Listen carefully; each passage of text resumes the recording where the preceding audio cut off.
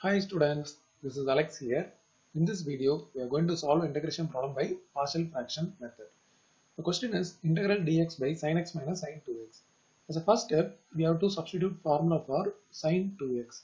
So sin x we are writing as it is and sin 2x formula is 2 sin x cos x. So we have replaced sin 2x formula. Now we can take sin x common from the denominator. So when sin x is common, we get remaining 1 minus 2 cos x. Now we have to multiply numerator and denominator by sin x.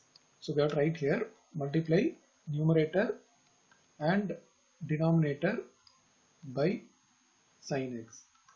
So numerator will become now integral sin x dx whole divided by now denominator already there is one sin x. When we multiply with one more sin x we get sin square x into 1 minus 2 cos x. Now the denominator sin square x is replaced with 1 minus cos square x using the trigonometric identity. Sin square theta plus cos square theta is 1 so sin square x is 1 minus cos square x now the remaining terms as it is. Now we can notice that when we take substitution t as cos x, dt will become minus sin x dx. So the numerator is replaced with minus dt and denominator is 1 minus t square into 1 minus 2t. Now the first term can be split into 1 plus t into 1 minus t using the formula a plus b minus b a square minus b square and the another term is 1 minus 2t as it is. Now we are going to apply the partial fraction for these terms. Let's write the term alone without the integration. So we have minus 1 by 1 plus t into 1 minus t into 1 minus 2t. We find all the three factors are different. We already discussed about the partial fraction rules in the previous videos. When all the three factors are different, we use a by first factor plus b by second factor plus c by third factor. So here it will become capital A divided by 1 plus t plus b by 1 minus t plus c by 1 minus 2t. Now we are going to take LCM which is the product of all the denominator 1 plus t into 1 minus t into 1 minus 2t and here a into 1 minus t into 1 minus 2t plus b into 1 plus t into 1 minus 2t then plus c into 1 plus t into 1 minus t. Since both the sides we have same denominator we can equate the numerator. So minus 1 equal to this numerator. Now we have to take suitable value for t to find the constant ABC. Let's take t equal to 1.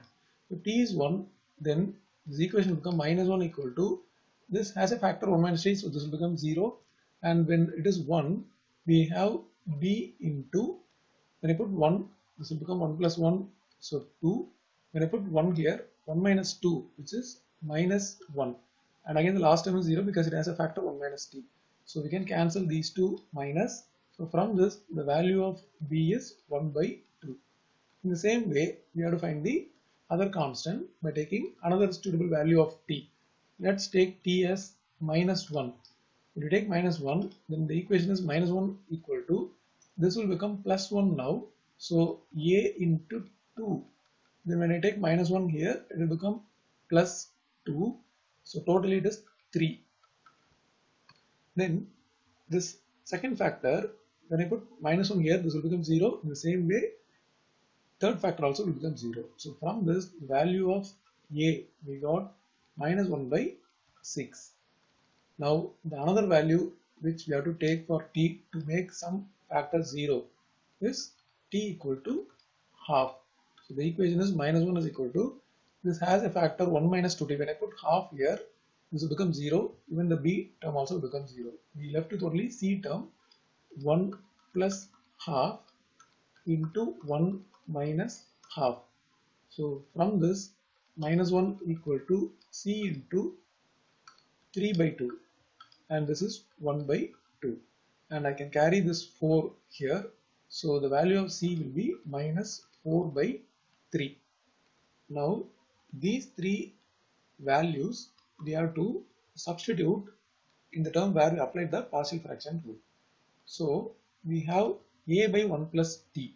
So a is minus 1 by 6 so minus 1 by 6 by 1 plus t dt integral. Then b value half. Half by 1 minus t plus half by 1 minus t dt integral. Then c value which is minus 4 by 3 so I take plus here and minus 4 by 3 dt divided by and the denominator is 1 minus 2t 1 minus 2t now we are going to rearrange the term by taking all the constants outside. So minus 1 by 6 outside we have dt by 1 plus t plus 1 by 2 outside. So dt by 1 minus t minus 4 by 3 outside integral dt by 1 minus 2t. This will become minus 1 by 6 log 1 plus t. Then half log 1 minus t but t has a coefficient minus so we have to divide the term by minus 1 so instead of plus this term will become minus. In the last term minus 4 by 3 log mod 1 minus 2t and we have to divide by minus 2 so if I divide by minus 2 it means I have to multiply denominator by minus 2 so this will become plus now. So let's write that in the next step. So minus 1 by 6 log mod 1 plus t minus 1 by 2 log mod 1 minus t and it will become plus 2 by 3 log mod 1 minus 2t plus c at the end. Now we have to replace t. t is cos x. So every t is replaced with cos x. So the final answer is minus 1 by 6 log mod 1 plus cos x minus 1 by 2 log mod 1 minus cos x plus 2 by 3 log mod 1 minus 2 cos x plus c.